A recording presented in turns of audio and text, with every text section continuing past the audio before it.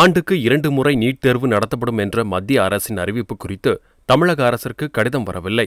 அப்படி வந்தால் நீட் தேர்வை ஆண்டுக்கு ஒருமுறை மட்டும் நடத்த மத்திய அரசை வலியுறுத்துவோம் என்று தமிழக பள்ளிக்கல்வித்துறை அமைச்சர் செங்கோட்டையன் தெரிவித்தார். இல்லை அது மத்திய அரசுடைய கொள்கை முடிவுகள் எப்படி இருக்கிறது என்பது எங்களுக்கு கடிதங்கள் வரவில்லை. நேற்று தினம் பத்திரிகையில் என் காலையில் நேற்று பார்த்தேன். அதற்கு பிறகு அரசுடைய முடிவுகள் என்ன நம்முடைய அரசுடைய கொள்கைகள் என்ன என்பதை மத்திய அரசுக்கு நாங்கள் விளக்குவோம். இல்லை. பொதுவாகவே ஒரு மத்திய அரசு ஒரு திட்டத்தை கொண்டு வருகிற போது மாநில அரசு கலந்து கொள்ளும். அப்படி கலந்து கொள்கிற போது எங்களுடைய கருத்துக்கள் ஓராண்டுக்கு ஒரு முறை தான் அதை கொண்டு வர வேண்டும் என்ற நிலையை வலியுறுத்துவோம். ஏனென்று சொன்னால் ஓராண்டுக்கு ஒரு முறை வைத்தால் மட்டும்தான் அந்த மாணவர்களால் அந்த தேர்வுகளை எழுத முடியும். ஆறு மாத காலம் என்பது அவர்களுக்கு கால வரையறை என்பது குறைவாக இருக்கும்.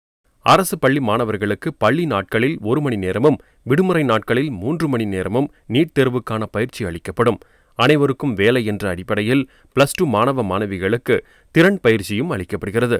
நூறு உயர்நிலைப் பள்ளிகள் நூறு மேல்நிலைப் பள்ளிகள் உருவாக்குவது குறித்த அறிவிப்பு விரைவில் வரும் என்றும் அமைச்சர் செங்கோட்டையன் கூறினார். இப்போது நம்முடைய அரசை பொறுத்தவரையிலும் இந்த ஆண்டு நூறு உயர்நிலைப் பள்ளிகள் நூறு மேல்நிலைப் பள்ளிகள் உருவாக்குவதற்கு நாளை ஆணையிட இருக்கிறோம். அந்த ஆணை பிறப்பித்ததற்கு பிறகு எல்லா இடங்களிலும் மாணவர் சேர்க்கை சிறப்பான முறையில் அமையும்.